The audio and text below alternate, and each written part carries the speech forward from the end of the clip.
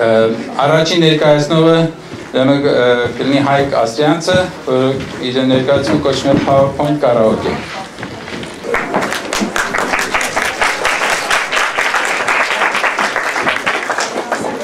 Բարեձեզ, ես Հայկ Աստրյանցն եմ, այսօր խոսելու ենք մի շատ հետաքրքիր թեմայի մասին, որը կոչվում է PowerPoint karaoke։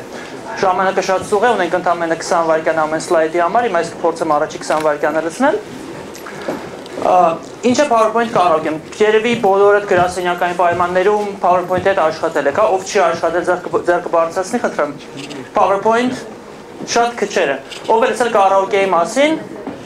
բոլորը։ Կարողի հիմնական իմաստը հենց այն է, երբ մարդիկ շատ վատ են երկում կամ չեն կարողանում երգել, բայց երաժշտությունը գնում է,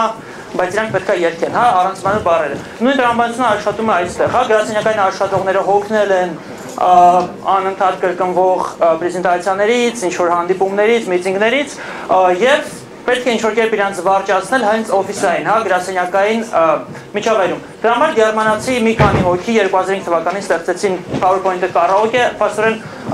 միավորելով իրար PowerPoint-ի կոնցեպցիան, այսինքն պրեզենտացիա անելու եւ karaoke։ Եվ ինչ է սա մեզ բերում, հա? Որն է լուծումը։ Յուրաքանչյուր ներկայացման ժամանակ պատրաստվում է միայն մեկ շնորհանդես, որը այլևս չի կրկնվում։ Այսինքն պատկերացրեք, ինչ որ գրասենյակային պայմանում կան ինչ-որտեղ շնորհանդեսը պատկերված, որը դուք չգիտեք հաջորդ սլայդը ինչ է լինելու։ Դուք բարձրանում եք բեմ, շնորհանդեսը գնում է, բայց դուք չգիտեք ինչ է, դուք պետք է դա մեկնաբանեք, հա։ Արդյունքում դա կլինի շատ զվարճալի,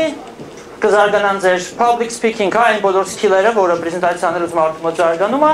կլինի մրցակցություն, որտեղ դուք միակը չեք, նաև ուրիշներն են լինելու, որոնք բարձրանում բեմի վրա, ունելու ինչ-որ անկանխատեսել պրեզենտացիա, որը պետք է մեկնաբանել։ Իհարկե կլինեն պարգևներ, երևի դա լավագույն հաղթողին, Եվ դա հանդրույթ է, մարդիկ իրար շփվում են։ Եկեք հիմա փորձենք մի օրինակ PowerPoint անցկացնենք, որը ոմն դիցուկ Սուրեն Բնձենցյանը, Սասնա տիրակալցպի փոխտնօրենը պետք է անցկացնի այդ շնորհանդես։ Ինչպես խթանել վաճառքները տնտեսության հետ ճգնաժամային փուլում։ Մի շատ սովորական թեմայով պրեզենտացիա։ Գաղափար։ Ու պատկերացեք, ես բարձել եմ բեմ, ես պետք է այս պրեզենտացիան մեկնաբանեմ։ Ես գաղափար չունեմ, հա, ընդհանրապես։ Ու ես հիմա փորձել եմ խոսել, իսկ սլայդերը փոխվելու են։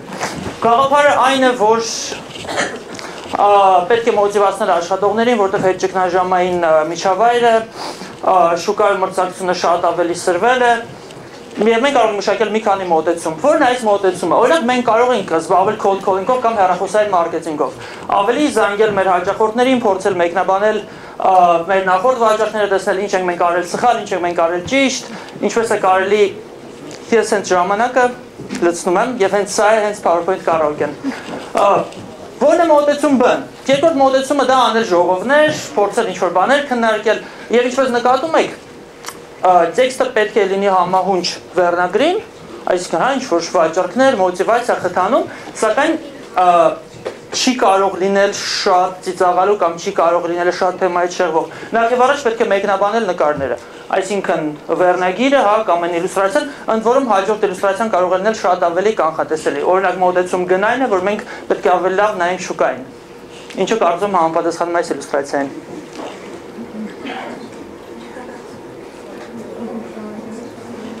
Մոդեցում դն դա օրինակ որպես թիրախ վերընդունելն է օրինակ սպորտային համազգեստի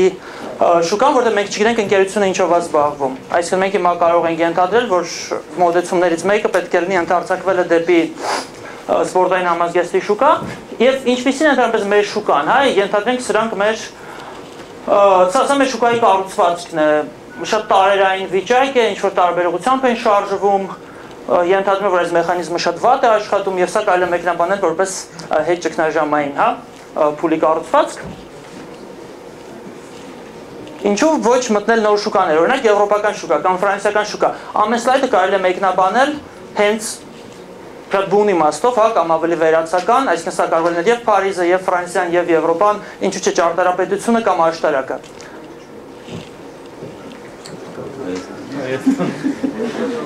Այո։ Այստեղ կարելի խոսել մրցակիցների մասին։ Նրանք գիշեր եւ ցերեկ վազում են, աշխատում են, խոսում են հեռախոսներով, կամ սա կարելի է մեկնաբանել որպես ինչ որ բջջային տեխնոլոգիա, հա, բջջային հեռախոսակապ կամ շարժում։ Երբեմն ստիպված ենք լինում մեկնաբանել նման բաներ, որոնց մասին մենք գաղափար չունենք, եւ հենց PowerPoint կարակեի իմաստը հենց այս ստեղծագործական եւ պրոֆեսիոնալ մոտեցումների միավորումն է։ Այստեղ ես կարող եմ խոսել, որ մենք ունեցել ենք 42% աճ կամ 37% անկում մերձ տովյան շուկաներում։ Երբեմն լինում են այսպիսի բաներ, եւ շատերը դժվարում են սա մեկնաբանել, այս դեպքում գուցե կօգնի ինչ որ ավելի հումորը կամ հետեւալ արտահայտությունը, բայց գիտեք, այս սլայդը ստեղ պատահաբար է հայտնվել, կամ ինչ որ կերպ կապել նախորդ սլայդին կամ ասել, օ սա նախորդ դիագրամայի կառուցվածքն էր։ Կարևոր չէ թե ինչ սխալներ կգործես կյանքում, մի վախեցիր գործած սխալների համար կամ նորերը գործելուց դու բարի սիրտ ունես, վստահի սրտիդ, ունկնդիր նրան եւ շարունակիր ճանապարհը առանց կանգ առնելու Վիլյամսարան։ Ինչ կապ ուներ սա։ Սա իհարկե պետք է կապել պրեզենտացիայի թեմայի հետ։ Մեկը մենք խոսում ենք մոտիվացիայի մասին, կարծում եմ շատ հզոր մոտիվացնող ցիտատ է։ Միջդեռ դա կարելի է կապել հաջորդ սլայդի հետ, մենք տեսնում ենք, որ վաճառքները անկում են ապրում։ Եվ մեկնաբանելով նախորդ սլայդը, հա, ինչ էլ սխալներ մենք արել ենք, միևնույն է դու լավ մարդ ես, դու կարող ես շարունակել։ Այսինքն ստեղ շատ կարևոր է նաև որպեսզի անցումները լինեն սահուն եւ տրամաբանական։ Որն է մեր հերանեկարը։ Օրինակ, որ կանայք կսկսեն ինտերնետից ավելի շատ օգտվել, կամ թիրախավորել ընդհանրապես ինտերնետ յուզերներին, կամ field work-ը փոխարինել ինչ-որ գրասենյակային աշխատանքով, հա,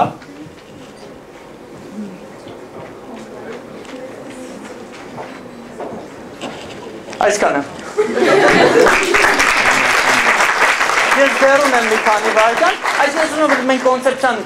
ավելի հա ոնց որ համապարփակ պատկերացնենք։ Իհարկե այս պրեզենտացիան ես էի պատկերացրել։ Պատկերացեք, եթե իմ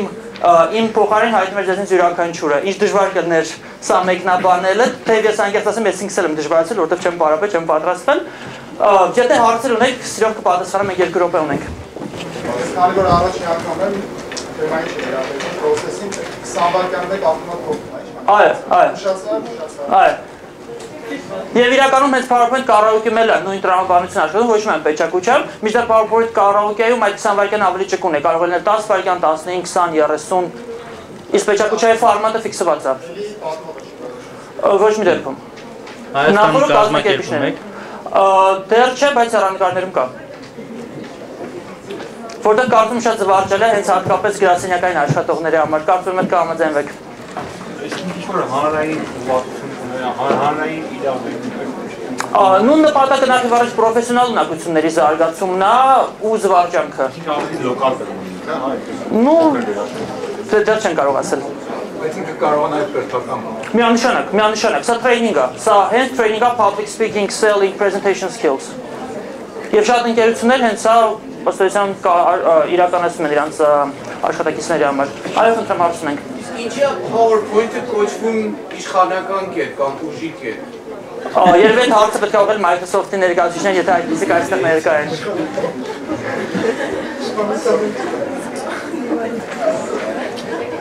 Հարցեր։.